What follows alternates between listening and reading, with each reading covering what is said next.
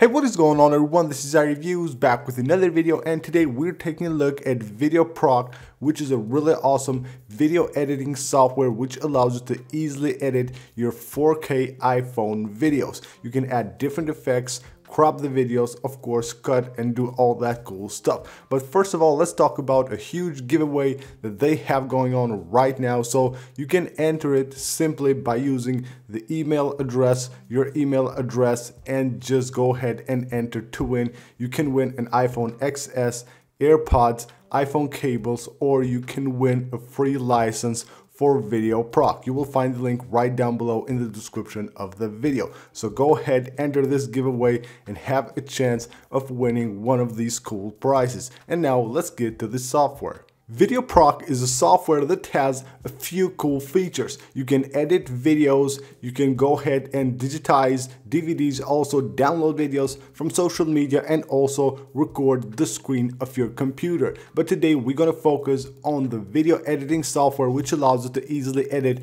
your 4K videos from your iPhone or any other smart device. So this process is very simple. This software is very simple to use. It's not complicated like most editing softwares. So what you have to do here is just go ahead and add a video from your iPhone. Just click on the video and once it loads, from now on, it's very easy to edit. You will have here a few options. So you have the effects, which allows you to add different effects to your video. You have here the watermark. You can add watermarks. You can cut the video. You can crop it, rotate the video, or even add a subtitle to your video. So let's go ahead and begin with the effect right here. So it will take us to this page where you can see the original video and on the right side you will see how the video will look after you apply one of these effects. So you can see right here, the left is the original one and on the right side you have the one how it looks after applying effects. The next tab right here is subtitles. You can go ahead and easily add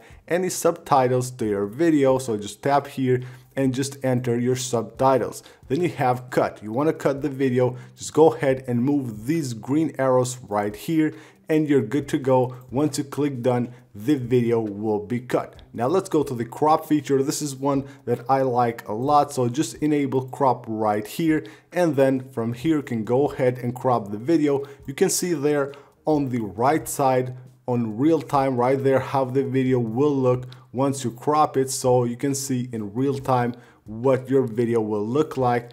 Click done right here again and you're good to go. You will have the video cropped. You can also go ahead and add a watermark to your video. So you can enable the watermark right here. You can enter different text or you can enable image and add any image that you want as a watermark so let's just go ahead and enter this one right here so just resize it any way you like and you can have that watermark on your video just like that. So that's really, really easy. Going ahead and saving these videos is really easy as well. You just choose the format right here and just go ahead and click run.